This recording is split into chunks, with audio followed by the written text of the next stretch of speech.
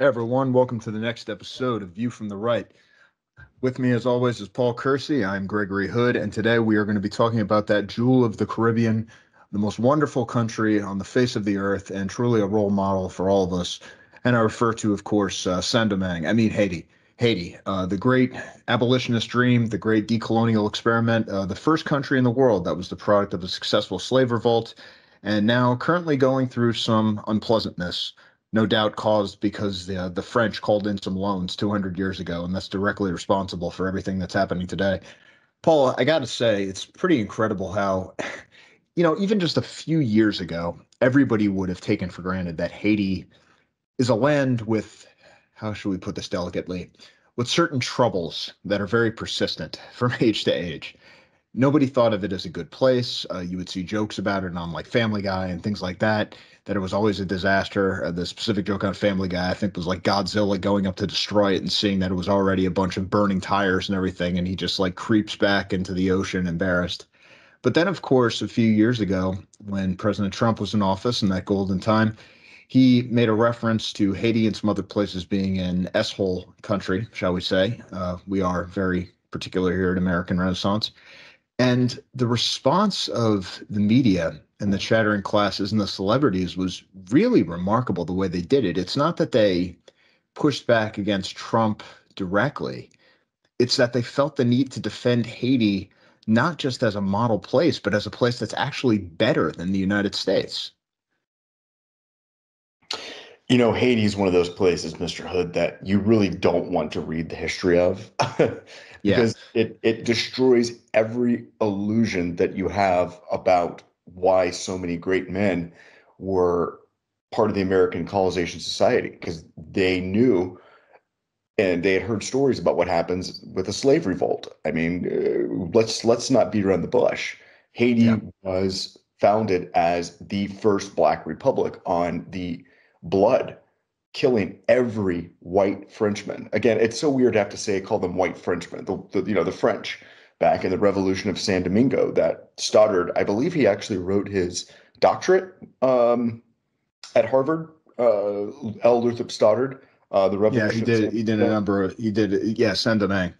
Uh, Santo Domingo was, you know, what the Spanish called it, but of course, Hispaniola is divided between the Dominican Republic and Haiti. And What's interesting, of course, is while the, everybody's freaking out about Haiti, the one country that they know with absolute certainty is not going to lift a finger to do anything about it is the Dominican Republic. The Dominican Republic hates Haiti. They have border defenses that put ours to shame. Well, that's not saying much. They have border defenses that put the Egyptians' border defenses against the Palestinians to shame. they they every few years, you know, these so-called human rights advocates cry because the Dominicans will round up all the Haitians that illegally immigrate into the Dominican Republic and throw them out. Of course, the Dominican Republic does not care. Uh, Haiti repeatedly invaded the Dominican Republic ever since gaining independence.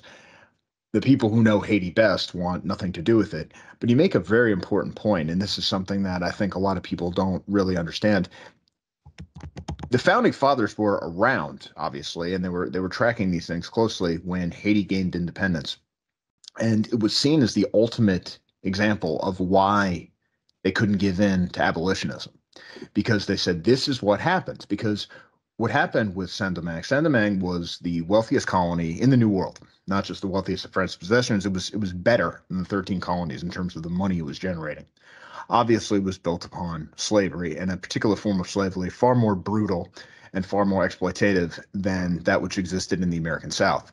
In the American South, uh, the American South is one of the few slave populations in history that increased over time through natural increase. It wasn't just be by importing new people. In fact, the slave trade was restricted fairly early on in American history.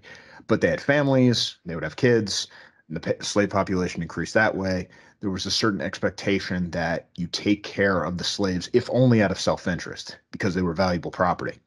But you know, over time, that that certainly developed into a I'm not going to say it was a good thing, but let, us call it a more benevolent form of supervision than what exa- existed in Haiti. In Haiti, the average lifespan of slaves, I think within three to five years, 50% of them were dead there was absolutely no reason to take care of them. Uh, sugar cultivation, which was the main crop, is far harder to deal with than tobacco or cotton. and far more dangerous. And so when these slaves would die, you would just kind of throw them out and get a new one. And they were brought in all the time. I think actually when the revolution at Saint Domingue took place, 70% of the slaves were actually born in Africa at that point, had been born in Africa, I should say. So we're not dealing with, I mean, it was a very different kind of slavery, but it was also a very different kind of slave population. And yet, when it got going, and it got going because it was happening at the same time as the French Revolution, because the whites, who were not very numerous, there were only about 30,000 whites, about 30,000 free coloreds, and I think about half a million slaves, black slaves they were still able to keep the slaves in awe when they were united, but the coloreds and the whites were divided among themselves, chiefly because of political things, but also because there was kind of an abortive move toward independence and everything else. And that instability trickled down into the slave population. And then you saw the revolt. And the revolt culminated, of course, with Jean Jacques Dessalines' slaughter of every single white Frenchman left in Saint Domingue. It actually was not, as people like us might even say, it was not actually the slaughter of every single white person on the island. Uh, there were some American and British merchants and some other people who witnessed a lot of this and were left alive. Uh, it was the French specifically who were slaughtered. Uh, there were also some Poles who Napoleon had sent over during the Leclerc, Leclerc expedition who actually defected to the Haitians. They were allowed to stick around too. But every single white Frenchman was killed. And this is important because for a very long time, throughout the whole course of the Haitian Revolution, this went on for years, a lot of the white French threw in with the slaves because Toussaint Louverture and other Haitian leaders had said, we are going to have a Haiti where race doesn't matter, where it's colorblind in law, where we don't discriminate, where everyone's going to work we're not going to have slavery, but we're going to have cultivators and everyone's going to work together to make this a prosperous island. And we're going to let bygones be bygones and the grievances that pass go away. And we're going to build a new future for Haiti together, all the races working together. Now, that probably sounds pretty familiar to everyone, but we see how it ended. And so American Southerners saw this and said, look, this is what it inevitably leads to. If yeah. you start spreading abolitionism among the slaves, if you let up even a little bit, they're going to slaughter us in our beds. They're going to kill our kids. They're going to burn everything to the ground. And then you're going to end up, it went on for decades after the Haitian Revolution. They saw what the country was because right. slavery never really ended. It was just it's kind of the same system, only with black generals in charge. No, I mean, Haiti is just such a fascinating story because, again, we saw so much in the infancy of the country with the American Colonization Society. I mean, the, the true heroes of American history, Francis Scott Key, Henry Clay, Daniel James Webster, Madison. James Madison. These were the men. Yeah, Liberia. Yeah, let's. I mean, just to fill in some of the readers who, who yeah. may not know, the American Colonization Society, which existed up until into the 20th century, uh, I've often thought me and you should restart it.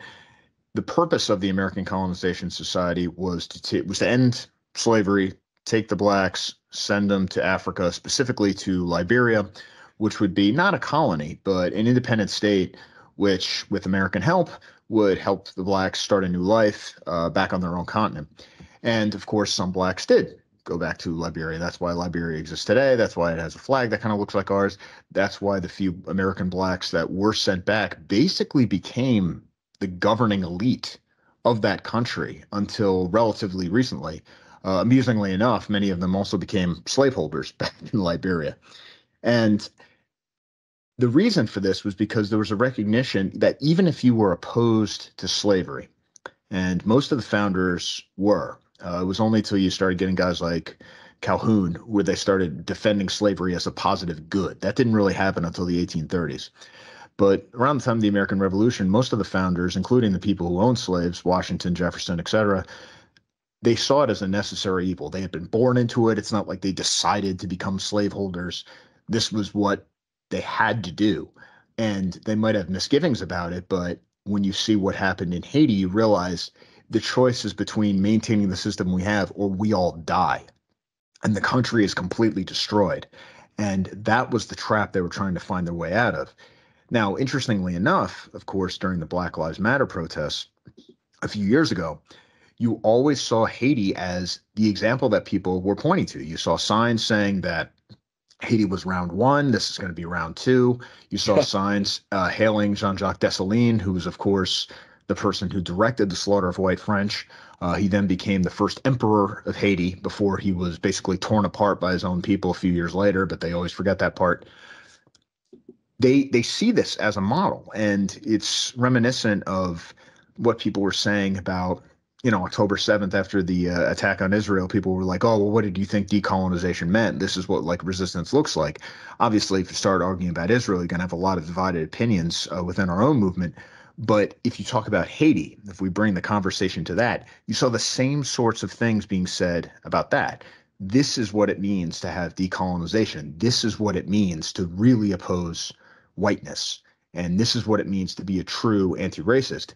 And certainly we've seen in the United States, uh, particularly when you have localities trying to honor people like Nat Turner and people like that, people who were trying to create a violent slave revolt that would slaughter the whites and that this would be defended as necessary and good and just. And of course, you know, who was the one guy who they try to defend all the time and who was gone in the American imagination from a violent lunatic who single-handedly brought the country to the brink of the Civil War, to now as an idealistic, harmless, fuzzy hero.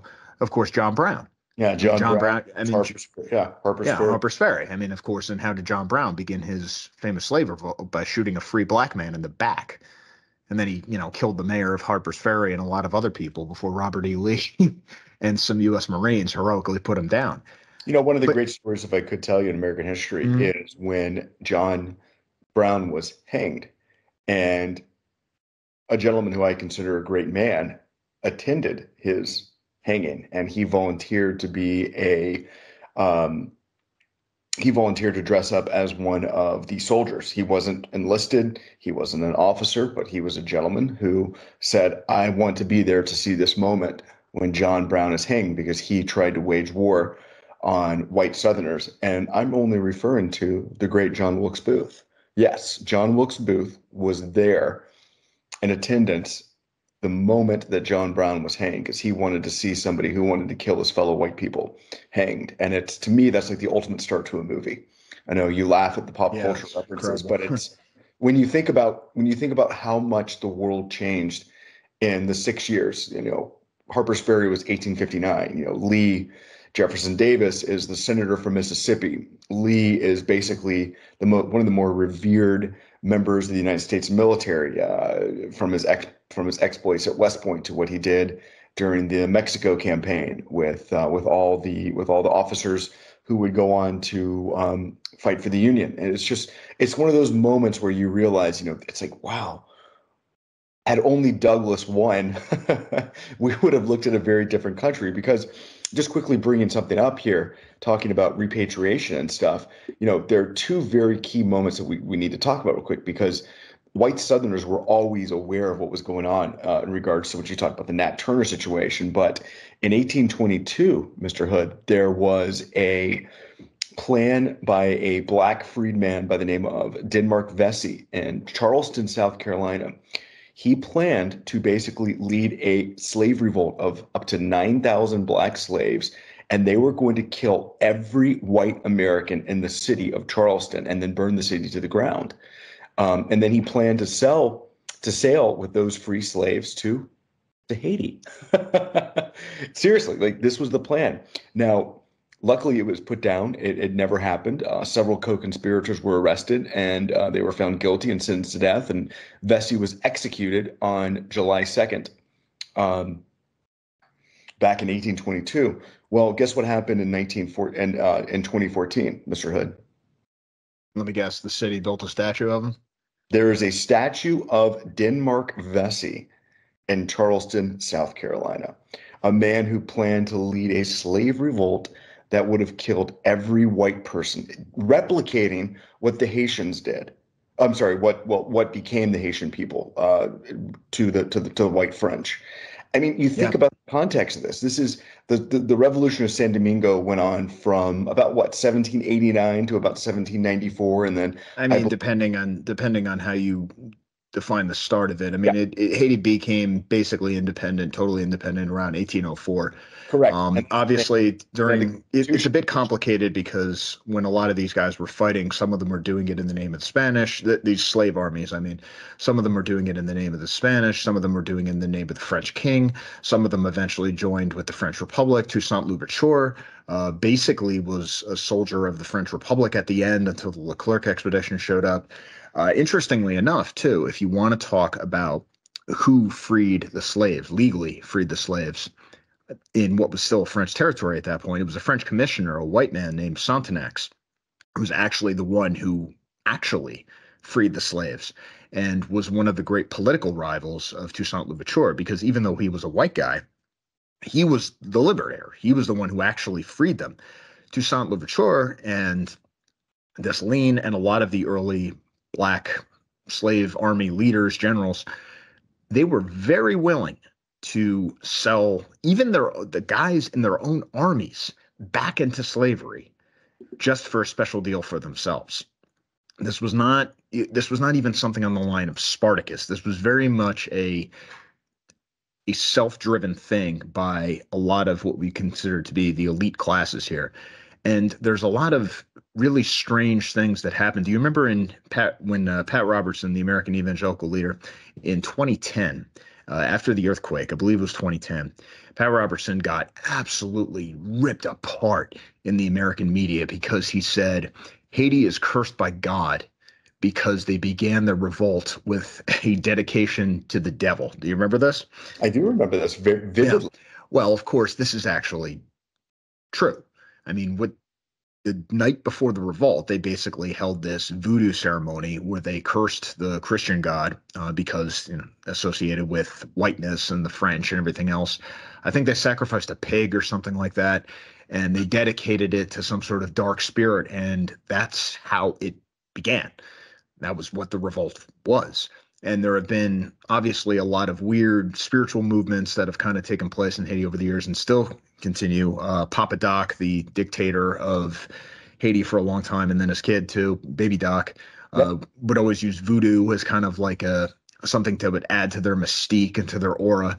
Uh, Baron Samedi and all this kind of stuff, as you saw in the uh, the great weird James Bond movie where where he's doing stuff in Haiti and there's all this voodoo stuff. Well, you'll laugh at this. Uh, back in 1992, the World Wrestling Federation debuted Papa Shango. That's right. Oh, I remember. Papa, yeah, the Golden Age. Voodoo. We're uh, dating ourselves, uh, but I remember that very well. yeah, he, he was portrayed by actually a pretty good guy named Charles Wright. He's a uh, he's a light skinned black guy. He's a bouncer in Las Vegas. And I remember watching this back in 1992. I was, oh my God, seven. Um, cast or seven or eight, he cast a spell on the Ultimate Warrior, someone I knew, and the Ultimate Warrior started throwing up violently, and they they ran this voodoo angle, and yeah, I mean, like you said, be hilarious. Imagine the reaction if they tried that today. But I mean, again, this is like what everybody knew Haiti was. I mean, that there was this kind of troubled land built on violence, built on slaughter. There were all these weird things. I mean, the the American idea of the zombie, the very idea, like where the word comes from. That comes from voodoo. Uh, I was a white, I think white, yeah, white zombie. I think was the first actual zombie movie, uh, well before correct. Romero. That's right. And there was always this kind of like, th- this is a place where white people just don't go. Yeah. Like bad things happen here, but it was not Wakanda. It was not, you know, you you got decolonization, you got what you wanted. You you you pulled it off, and it wasn't even though it wasn't blacks rising up and heroically defeating everything that the whites threw at them. I mean, there was a lot more going on. There was a lot of division, and there were a lot of white countries that were kind of helping out to destroy the the French presence there. But let's zoom out and just say, sure, fine, the blacks defeated all the comers. Now they've got this country. What are you going to do with it? And we've seen what they've done with it. And there's a cope that well, the French wanted reparations for all this property was destroyed, and so they were in debt, and therefore that's the reason that they haven't been able to do anything. Well, you know what? Plenty of countries have had debt, and if they were able to defeat French invasion and attempted reoccupation and reenslavement of all these people, you would think that they would be able to overcome a request for repayments for destroyed property, but apparently they couldn't. They've been totally in charge of their own affairs for centuries now, and it gets worse and worse and worse. And a few days ago, I wrote something for American Renaissance. I'll, I'll get it posted in the, the notes to this. And I updated an older article that traced the ends of the different heads of state of Haiti over the centuries. And of course, there have been, I think, two emperors, a couple kings. Uh, they've tried to do a few different government forms over the years. And if it weren't so sad, it would be comical. I mean, well, all of these people are just dying, getting ripped apart, assassinated, fleeing to Jamaica. Yeah. I could jump in real quick. I think it's very important to make a point right here. You know, people who look at what's happening with black black dysfunction in the United States, they're called white white nationalists, white supremacists for just pointing out, hey, this is not normal. This dysfunction isn't this is antisocial behavior. You know, if you were basically to have a country and go back to 1805 the you know we constantly hear from uh, Marxist um, historians that race was invented in the United States to kind of create this idea of whiteness. You know, who was that guy named David Roediger? How the Irish became white. I remember reading that back in college. That was one of the first big books that pushed this idea that whiteness was created uh, out of the necessity to have this idea of white supremacy. In 1805, Mr. Hood, the Constitution of Haiti explicitly states that this is a black republic. Like they, you know, if, if if whiteness was somehow invented, couldn't you argue that it was a reaction to the Haitian Revolution, where it was explicitly, you know, even even if you're going on this nonsensical notion, because again, nat- the Naturalization Act of 1790, one of the first acts of the American Congress, which George Washington signed, explicitly said only whites could be citizens, white males of good character. And but the Haitians their constitution is one is is dripping with nationalism, with racialism, with black excuse me, with black supremacy. Have you ever read this this oh, document? Yeah. Oh yeah. Uh, there's. Uh, I just want to correct you real quick. It was uh, Noel Ignatiev who wrote uh, "How the Irish Became White," uh, and he, was, of course, was the man who edited Race Traitor and called openly called for the end of whiteness. And Roediger wrote the Wages of Whiteness. I'm sorry. Yeah, that's right. Yeah, yeah Ignatiev I, was "How the Irish Became White," and he was the one who, I mean, you can guess what he is and what his motivation might be, but he said He explicitly called for the destruction of whiteness and he played the little game where well you know we're not really calling for the destruction of white people just whiteness but obviously if you applied that to any other group to any other religious group to any other ethnic group you would know exactly what they're calling for. And certainly there's this is one of these things where when you get into haitian history there are some details here that kind of contradict maybe the simplistic reading but then when you sort of zoom out it doesn't really matter the interesting thing about Haiti, one of the interesting things about Haiti, is that race was not actually a big deal in French law until after the Seven Years' War, what we call the French and Indian War. It was an slavery was an economic condition, not so much a racial condition. And so you would have coloreds, for example. Uh, these are mixed race people who would marry whites. It was considered very common. After all, there weren't that many whites around. And a lot of poor whites who might show up to Saint Domingue wouldn't have any money. These coloreds who had been there might have money and property, and of course, slaves. Uh, blacks who would get freed could then turn right around if they were prosperous and buy slaves of their own. And people did this. Uh, I think, don't quote me on this, I'll have to double check, but I think Toussaint Louverture himself may have done this. Uh, certainly, some other people in the revolt did this. But whiteness became introduced in the law and one of the reasons why they did this is because a lot of the local whites they were trying to actually break away from France and to get more autonomy. And one of the tensions in the Haitian Revolution was was actually the metropole was actually France which was pushing a more colorblind French national ideal uh, partially out of necessity partially to fight the British partially out of idealism because there were all these lobbyists from Haiti uh, in the French Convention saying, you need to do this, you need to do this, and you need to do this, some colored, some blacks, whatever.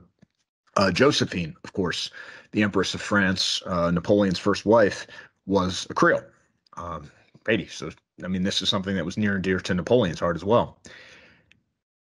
The reason that race became so important, though, is that once you actually had real fighting, once it broke out of control of legislation, once it broke out of the control of a basically, I mean, let's be blunt, a bunch of white people far away debating these enlightenment ideas and you know what what it should be under a true republic and whatever else it became a race war. That's what it was. And once they finished off the whites or more or less finished off the whites it basically became a war between the blacks and the coloreds you can say that's simplistic and yeah you can say this general or that general doesn't quite fit into the mold. But if you look at some of the essentially civil wars that happened after they fought off the french that's basically what it was.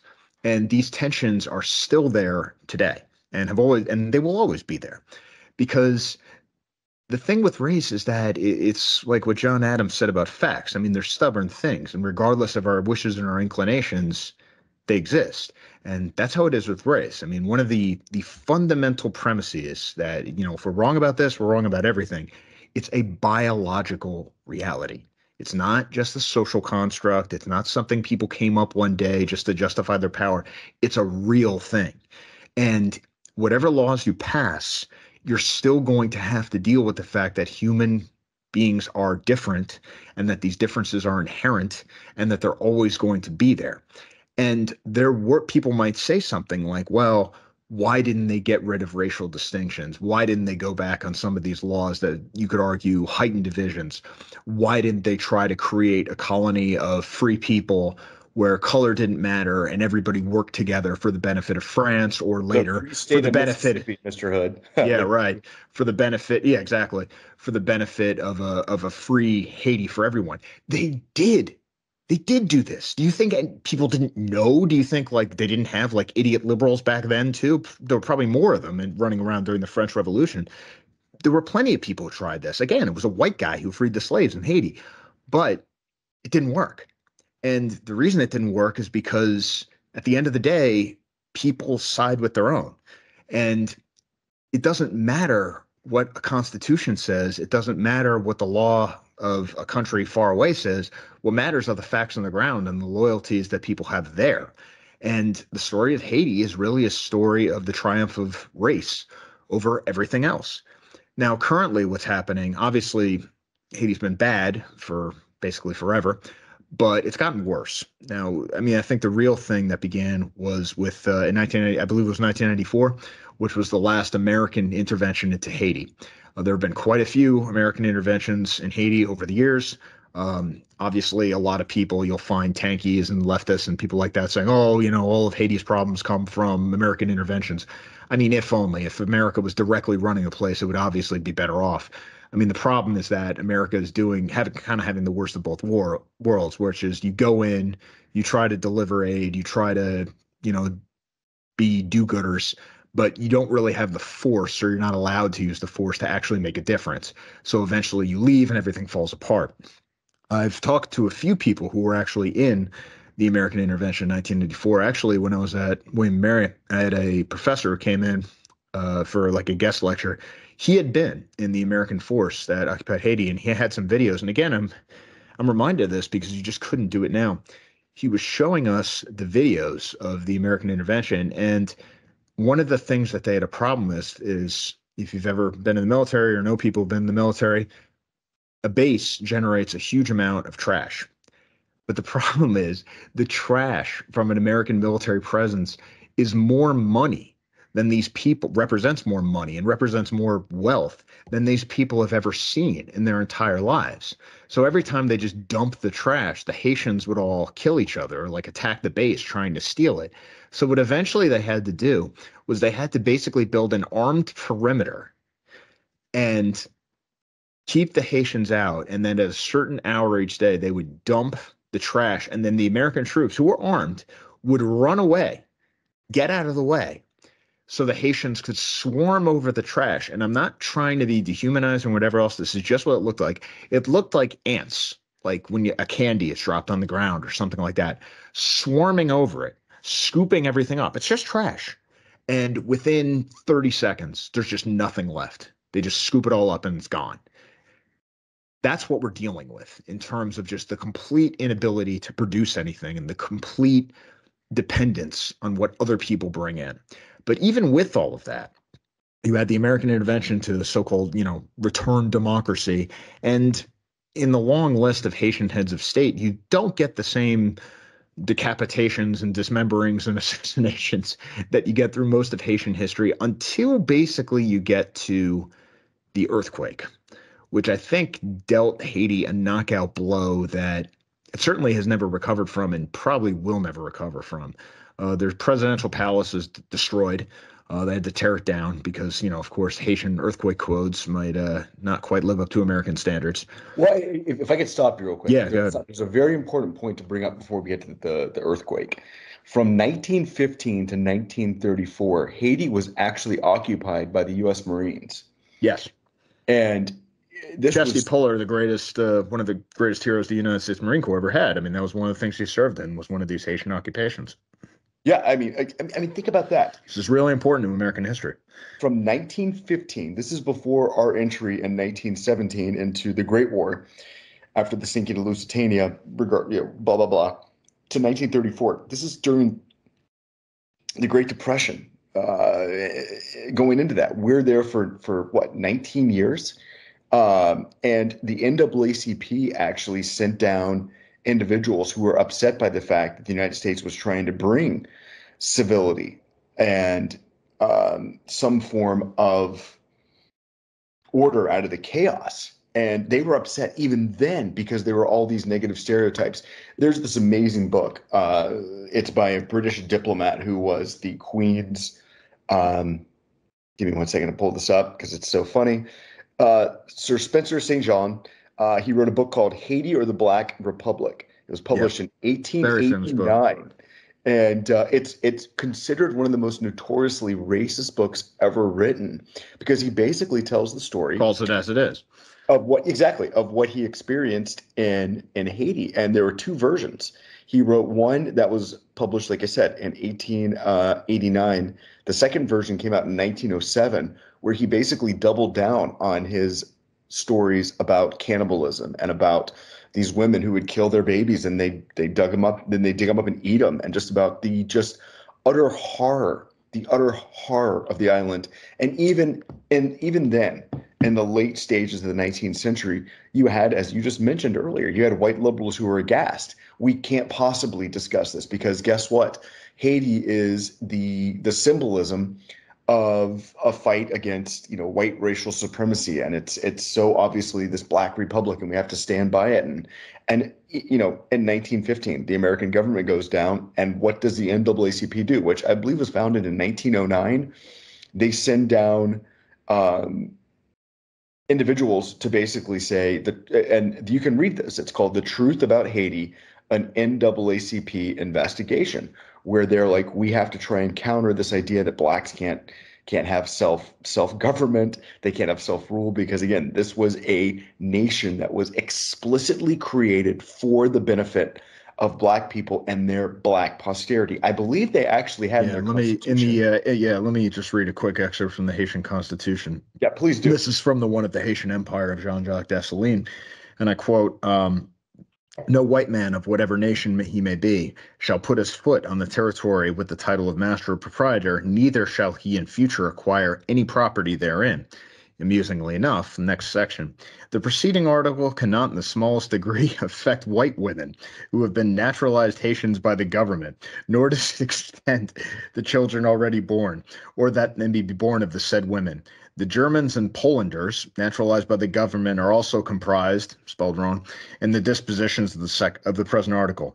All exception, another grammatical error, of color among the children of one and the same family, of whom the chief magistrate is the father, being necessarily deceased, the Haitians shall henceforward be known only by the generic appellation of blacks.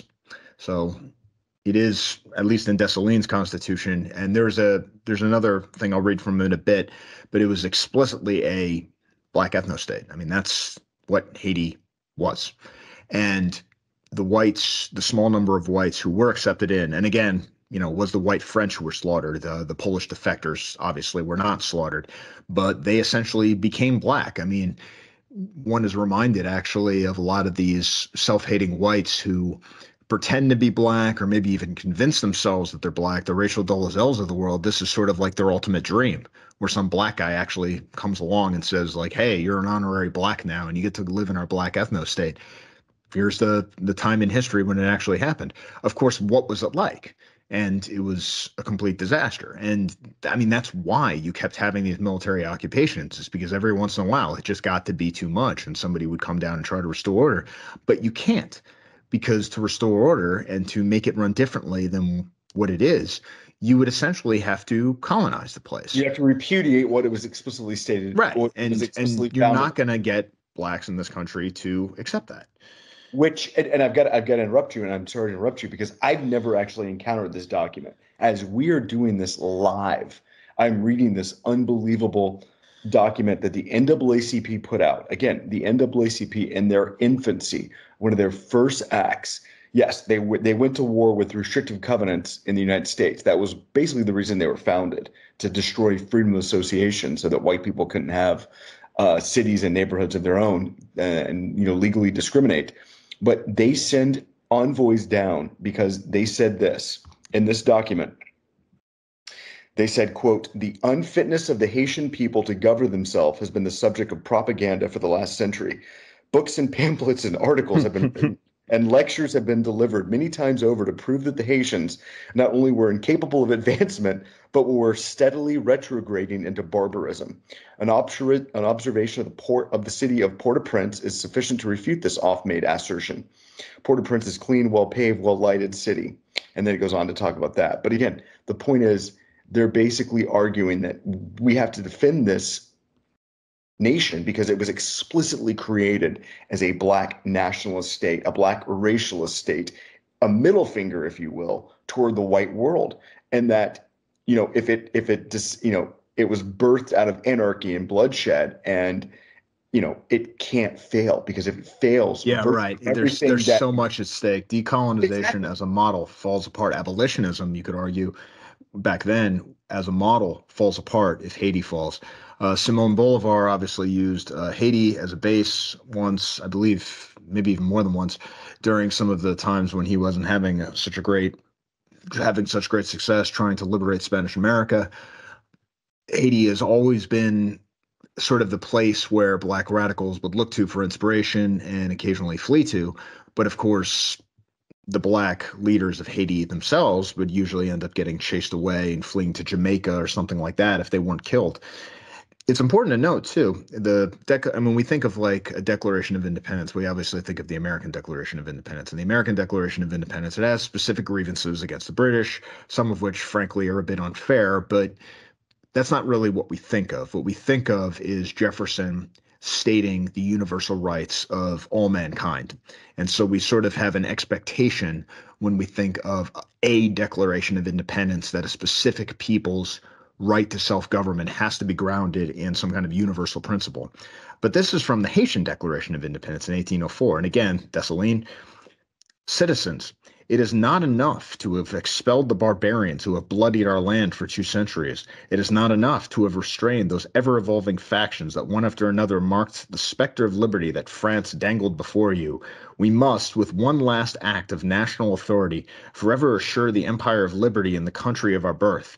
We must take any hope of reenslaving us away from the inhuman government that for so long kept us in the most humiliating torpor. In the end, we must live independent or die. Independence or death, let these sacred words unite us and be the signal of battle and of our reunion. Citizens, my countrymen, on this solemn day I have brought together those courageous soldiers who, as liberty lay dying, spilled their blood to save it. These generals who have guided your efforts against tyranny have not yet done enough for your happiness. The French name still haunts our land. Everything revives the memories of the cruelties of this barbarous people, our laws, our habits, our towns, everything still carries the stamp of the French. Indeed, there are still French in our island, and you believe yourself free and independent of that republic which, it is true, has fought all the nations, but which has never defeated those who wanted to be free.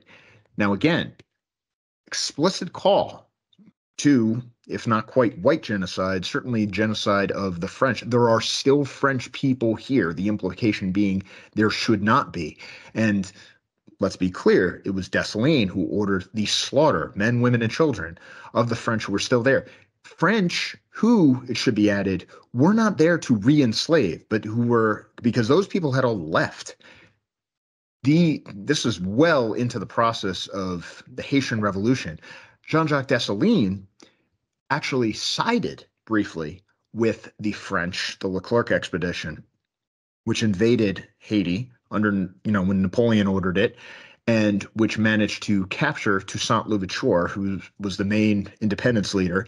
And Dessalines was one of the people who, some evidence suggests, is the reason Louverture was captured and eventually died in prison in the hands of France. Dessalines was called by Leclerc, the leader of this French expedition, the butcher of the blacks because of how good he was at slaughtering the blacks that he was told to slaughter. And yet, this is the guy who turns around and says, Isn't it terrible that the French are doing all these things? Why can't they you be like us, these brave liberators who have done so much to free you? It was entirely self-serving. And the best part, of course, is that even as he says French habits and French customs and the French language and French government must be driven from the island, what is the first thing he does? He gets himself proclaimed emperor aping Napoleon's coronation. This is actually one of the big repeating themes in early Haitian history how much they love titles, how much they love giving themselves little European aristocracies and playing dress up essentially. It's like kids, little kids, but little murderous, violent kids playing dress up and trying to be like daddy, all at the same time denouncing and complaining and saying that they, Europe is responsible for all their problems. I mean, Haiti is it's perfect because in the eyes of supporters, it's the model for what decolonization was.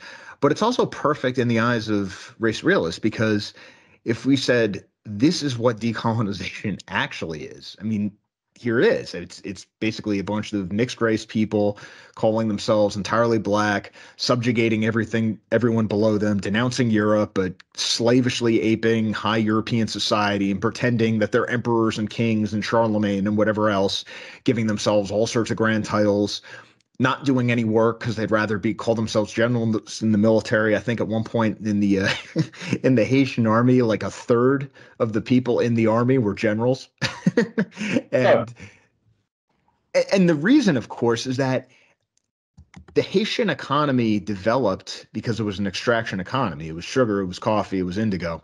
Sugar being, of course, the hardest thing to grow but then once they had independence, they kind of did this halfway thing of, well, we're we're going to call you cultivators, and you get some sort of a share in in what's produced. But it, they weren't really full partners in these plantations. But nothing really changed, and it was essentially not that different from what existed before, where you could have black or colored plantation owners. It's just now there just weren't any white plantation owners, but the same system is in place and nothing has changed from any of this.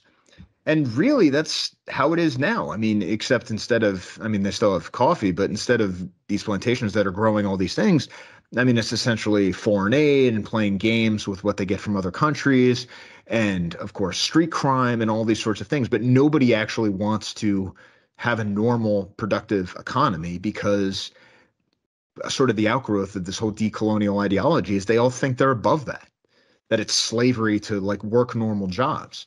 I mean, one of the things you do have to ask yourself too, in terms of why Haiti specifically is such a disaster compared to something like, say, Jamaica or Barbados. Not that these places are paradises either. Jamaica is notoriously violent, but they're both part of the British Commonwealth. There was not a violent rebellion.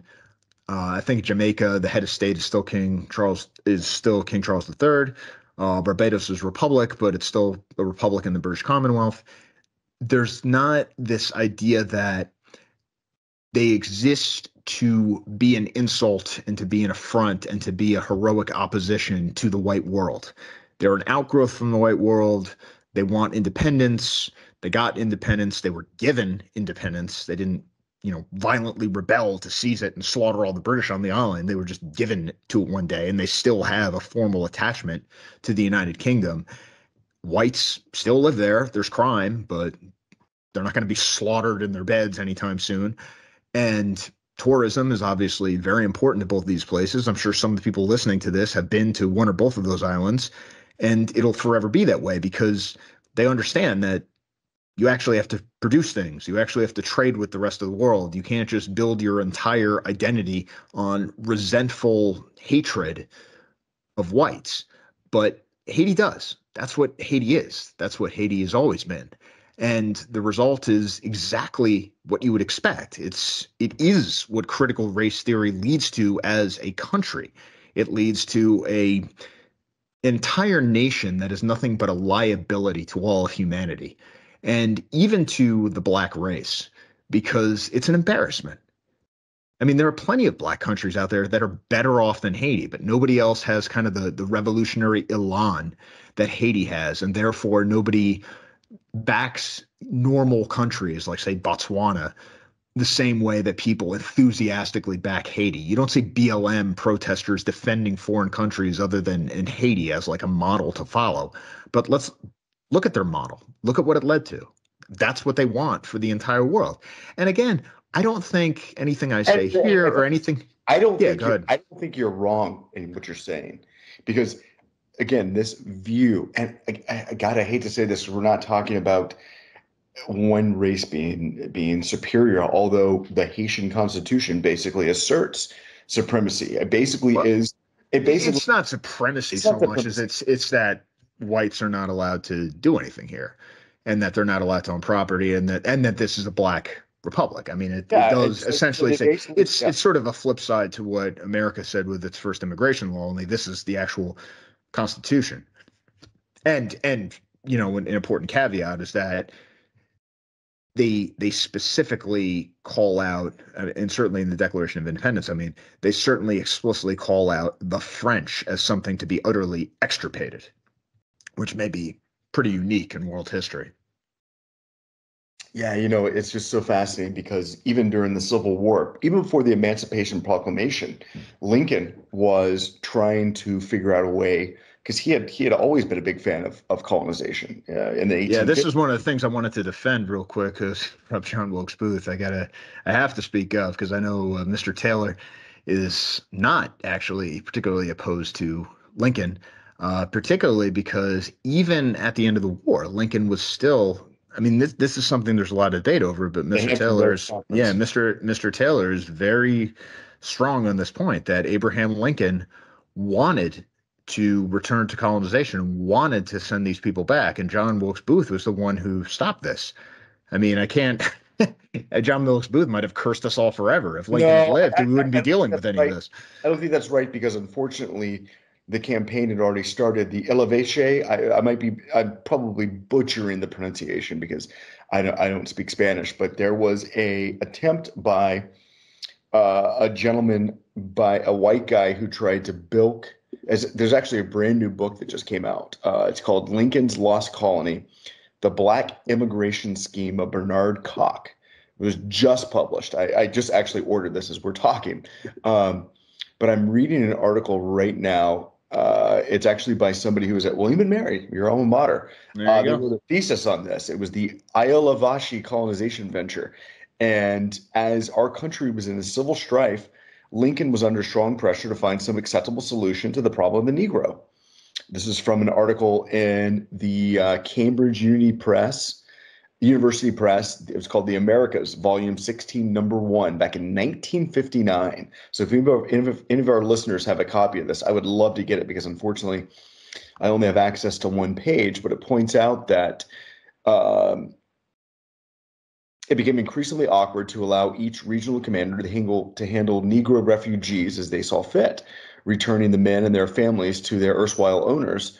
Uh, instead, basically, Lincoln decided that it was time to figure out something to do with these people. And so this guy came to Lincoln and had this idea to buy an island just off of Haiti where they were going to put a bunch of the freed slaves and and they were going to try and figure out a way to end the war at this point mr hood by offering to uh, compensate slave owners for their for their slaves so they could repatriate because they realized you know lincoln was a huge sympathizer with those advocates of separation, separation, like Jefferson and Henry Clay, and the members of the American Colonization Society, and Lincoln in the 1850s, he you know, he publicly denied any desire for social equality uh, or Negro citizenship. Yeah, and, and, Lincoln wasn't even really a real Northerner. He was not some New England Yankee.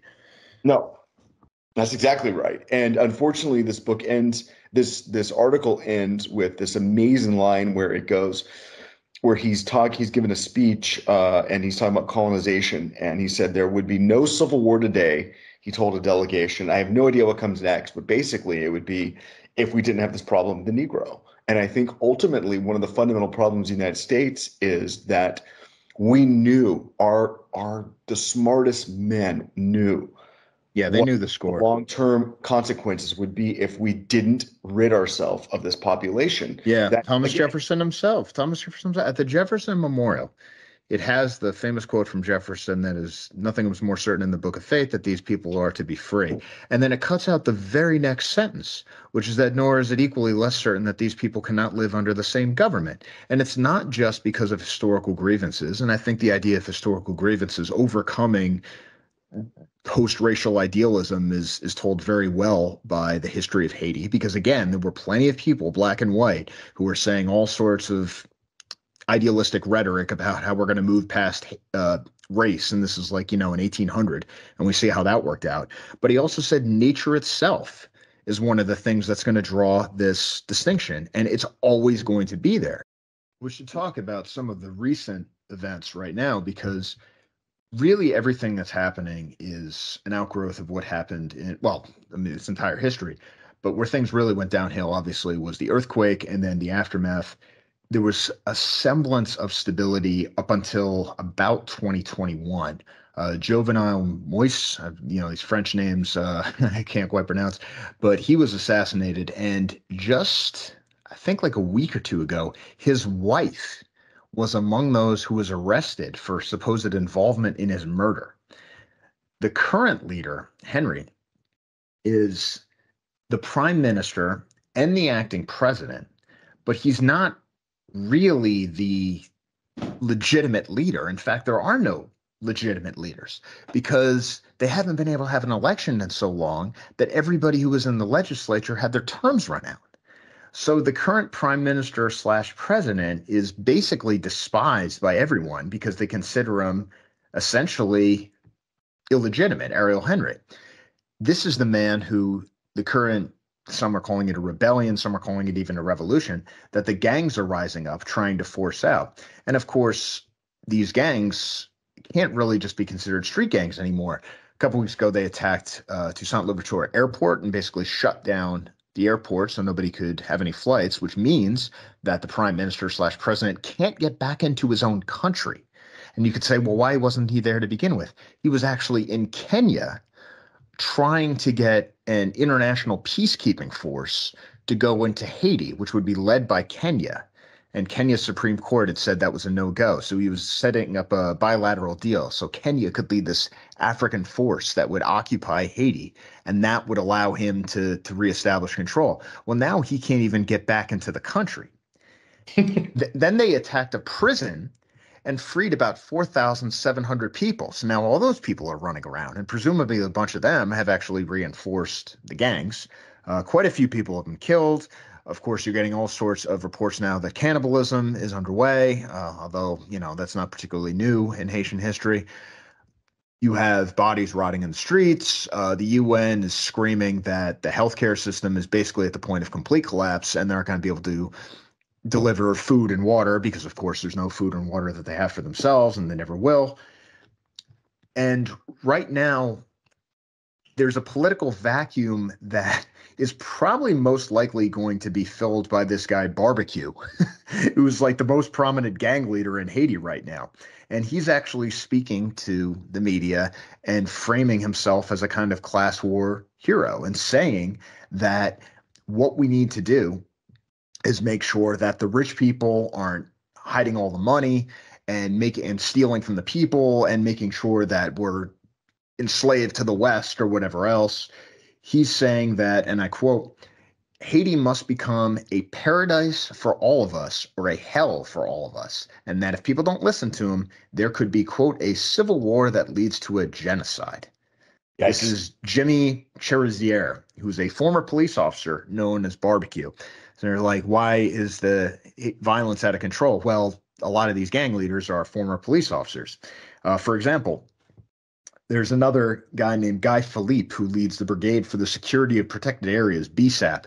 He was actually arrested, charged, indicted, uh, and convicted by America a few years ago. They convicted him of money laundering. They arrested him, but then for some reason, America sent him back to Haiti. So what did he do? He immediately started up a gang, and now he's got one of the most prominent gangs. BSAP is apparently a military power in its own right. He, of course, is another former policeman. And then you've got another gang called the Five Seconds Gang, headed by a guy named Johnson Andre, aka Izo. And all of these gangs now have not just rifles and pistols delivered from the United States, but 50 caliber machine guns and grenade launchers and all sorts of advanced weaponry. 3,000 out of the 15,000 police officers in Haiti have abandoned their posts in the last two years, and that number has probably increased in the last couple of weeks. About 15,000 people have left their homes recently just because of what's happened in the last couple of weeks, and about 313,000 have already been displaced. So that's what we're dealing what's with, the, and certainly. Was it number again? 313,000 total.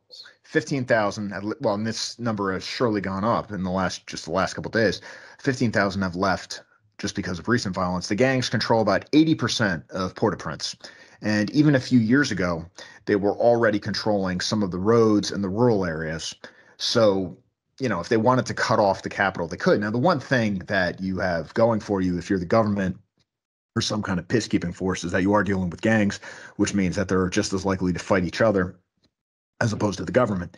But if they're able to get their act together, if they're ever able to have some kind of an alliance, they certainly outnumber the police and they probably have more firepower than the police and probably a lot of the people in the police are sympathizing with them. Uh, kind of reminds me of the warriors where you have all the different gangs come out if play, uh, right? if some yeah if, if barbecue takes the role of cyrus and uh, and says can you dig it? and all the gangs join together haiti is probably screwed. But I mean, the real danger, of course, for the United States and all of this, we're not going to intervene, although people are screaming for that, and maybe they will. But I think you know the decolonial protesters are giving Biden enough trouble over Palestine. I don't think he wants a, a Haitian intervention. I think America, and of course, we're going to have to pay for it. America has already promised about two hundred million dollars for an African military occupation of Haiti. Um, so you know they'll do it, but we're going to have to pay for it. But the real danger, of course, is that they're going to start screaming that we need to bring all these Haitians into the United States. That's that's going to be the big thing. That we're going to have a huge amount of Haitian immigration coming to this country. And they already have, uh, we already have, I believe, more than 100,000, probably more than that, under temporary protected status (TPS), yeah, which Biden, which Biden extended. Correct. correct. Send it back. The same thing for Venezuelans. It's the same thing for El Salvadorans. I believe Hondurans as well. Which is hilarious about El Salvadorians because the reason they extended for El Salvador is they said, oh, the gang violence is so terrible. You can't possibly send people back to El Salvador. The gang violence is it's inhumane to have people live in these conditions. So then Bukele takes over and promptly solves the gang violence problem. So we should be able to send these people home, but they extended it anyway. We're still not allowed to. And the best part, of course, is that the U.S. State Department wants Bukele gone. Oh, it's it's. I mean, again, if if you were to see some black individual come in and actually clean up Haiti, we didn't. Th- then you'd see an American intervention. Then you'd, you'd see it American. immediately because what you'd have to do is basically. I mean, the problem with Haiti is not what Conan O'Brien said back in 2018. You know, again, going back and putting a bow in this conversation, which I think is so important. Yeah, we should we should end with this because this is really the media image of it. Is that the reason they're going to say that we have an obligation to accept unlimited Haitian immigrants is because Haiti is a disaster. They'll blame it on us. They'll blame it on France. They'll blame it on whatever. That's not the point. The point is that they're going to say Haiti is so terrible. And that's why you have to accept unlimited Haitians. And it's your fault if anything bad happens, even though we already know from data in this country that, as you might expect, Haitian Americans are more likely to be unemployed, to have less money, to, to be a drain on the state. I mean, but that that's, of course, why they're being brought in. I mean, if they were productive, if they were contributing, if they had anything to give the country, they'd be sinking the boats on live television while journalists cheer. But it's because they're dependent. It's because it'll make things worse that we have to bring them all in. But the justification for it is because they're going to say, oh, well, Haiti is so bad right now. But as you point out, a few years ago, they were saying not just that it's fine, but unlike America, which needs to be made great again, Haiti is already great. And Conan O'Brien, of course, who was making jokes about Haiti just a few years before, but because Trump said something about it, it became right coded. And therefore, you were obligated to defend Haiti as the greatest place on earth. Yeah, he was lionized in Vanity Fair for starting a, a shirt campaign saying Haiti was already great or Haiti is already great. Excuse me. And he had a show on TBS before the ratings were so bad where in 2018 he went down there and interviewed a number of Haitians and you know basically tried to say that oh yeah this is such a great country compared to your country. And they all were like oh yeah you know Donald Trump is president. We love Oprah though. She should be the president. And this article is crazy because again he's going down to try and create this idea that Haiti is just this paradise on earth. And again not a Wakanda but just a place that's stable and thriving and vibrant and uh, I mean the uh, the special was called Conan Without Borders, and it was based in Haiti. And there's just leave them there. Yeah, there's a famous meme of this, you know, six foot five, six foot six, goofy, very white, redheaded uh, Irishman who you know went to Harvard, wrote for The Simpsons, and he's drinking a, uh, a adult beverage out of a coconut yeah, and, in the ocean. Right? Yeah, you know, you, you, have to wonder where that photo was actually taken. Um, well, notice that they, you know, when they're taking pictures to show how beautiful Haiti is, they shoot out toward the ocean because if you pointed it toward the land, you'd probably see what it is. Even in the uh, the hotels that are like guarded, yeah, probably I mean, some of the most securely guarded place on earth. And of course, it was all Susan Sarandon was wearing the shirt. And my favorite, my favorite of all these celebrities is Bill Maher. Bill Maher, the truth teller. Bill Maher, Mr. Politically Incorrect. Bill Maher, you can't handle me. I'm independent. I say things which are even going to offend the liberals. Oh man, you you know I'm I cut through all the BS. And like, yeah, even Bill Maher is like, oh, Haiti's so great. It's not like that evil Mr. Trump says so. Like, give me a break. If well, we just like rounded up all these people who ever wore that shirt and dropped them in Haiti, wouldn't let them come back, they could be honorary blacks according to John Jacques Dessalines' constitution. Not only that, I mean, that would be the greatest thing in their life, and we would never have any problems again. I'd actually encourage them, just like uh, the Super Bowl team that loses when we send all their shirts to Africa. They should, right. they should, they should take, they should take every shirt that was ever made that says Haiti was already great and pass it around to all these people, especially President Barbecue or yeah. Minister Barbecue, and say, you know, Mr. Barbecue, I want you to read this. I this is what I believe back in 2018. You know, what was that? That was that was what five. Uh, six years ago, almost. I mean, yeah, geez. it seems like a different lifetime. But yes. I mean, it's but they. I guess what really, and it's not surprising, and we we should end on this because just kind of griping about what we already know is not productive. But it, it still has to be said. They expect us not to remember this stuff, and maybe Generation TikTok doesn't, but it wasn't that long ago when the entire media, as one, it's not just stupid celebrities, it was academics, it was the prestige press, it was all these people saying President Trump is ignorant, President Trump doesn't understand how beautiful Haiti is, how wonderful they are, how they're smarter than us, how they're more creative than us, how it's better than America in all these different ways. And now they turn around, they're like, oh, it's a complete disaster and we have to do something about it. And if you don't, don't want to do so, and by the way, this is all your fault. And if you don't want to do something about it, you're a bad person. And they just expect us not to remember this stuff, which they themselves, these same people who are still in Hollywood, who are still in media, who are still in academia, were saying just a couple years ago. And if you're like, hey, wait a minute, didn't you say it was already great? They just like look at you like you're crazy. Mr. Mr. I've got to end with this because again, I told you that the NAACP put out this thing called The Truth About Haiti, an NAACP investigation. It was published in Crisis Magazine back in September of 1920. This is the paragraph by James Weldon Johnson, a black man who went to Haiti. He wrote this quote, The United States has failed Haiti.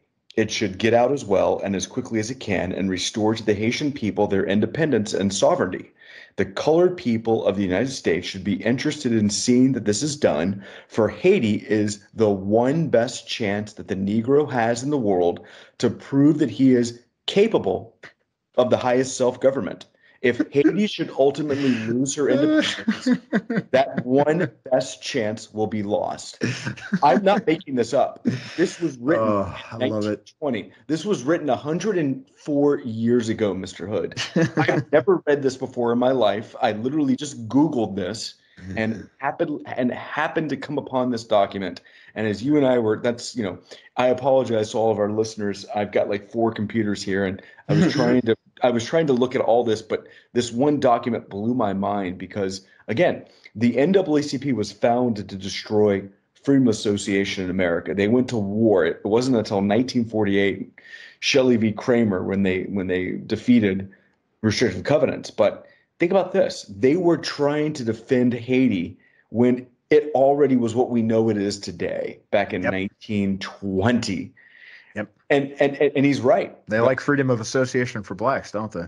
The, and, and again, but Mr. Hood, this is this is the ultimate thing. We're not trying, you know, I don't think anybody in American Renaissance, I don't think anybody in New Century Foundation wants what's happening to the Haitian people. No, of course not. Be happening. It's like there, there, there's cannibalism happening. There's murder. Yeah, it's not. It's not. You know, we're not sadists. We're not like getting off on what's happening, and certainly it doesn't. As bad as a lot of African countries are, as bad as black-run neighborhoods in this country even are, you can point to lots of black countries in the Caribbean that are not that bad. Where if you were yeah, like, "Hey, I'm going to go there for a week," you'd be like, "Oh, that sounds like fun." like, it, it doesn't need to be this way. Yeah, one of my favorite baseball players was Sammy Sosa, who was a black Dominican Republic. Republic. And guess what? After he retired, what did he do? He's famous for bleaching his skin because he didn't want to be black anymore. Right. Anyways, point is this: the Haitian people deserve better, and they're not going to get better under black rule. And I think no, that is what this, that's, and, and that's that's it. That's and that is the ultimate indictment of this entire nonsensical world we've been forced to live in, where white people are blamed for the problems of Haiti, the problems of St. Louis, the problems of Selma, the problems of Birmingham, the problems of Memphis, the problems of Detroit, the problems of South Africa. No, you know, this this this this is ending.